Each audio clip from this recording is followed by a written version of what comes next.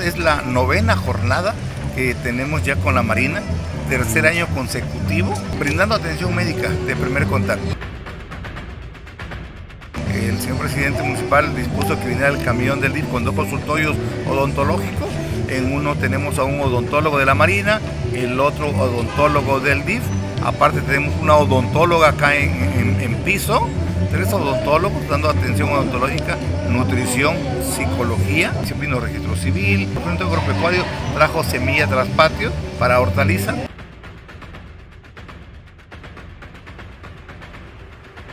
La Marina trajo técnicos en reparación de equipos electrodomésticos. En Allende fueron más de 20 ventiladores que se compusieron, que hoy en día pues, para la gente es indispensable con estos calores.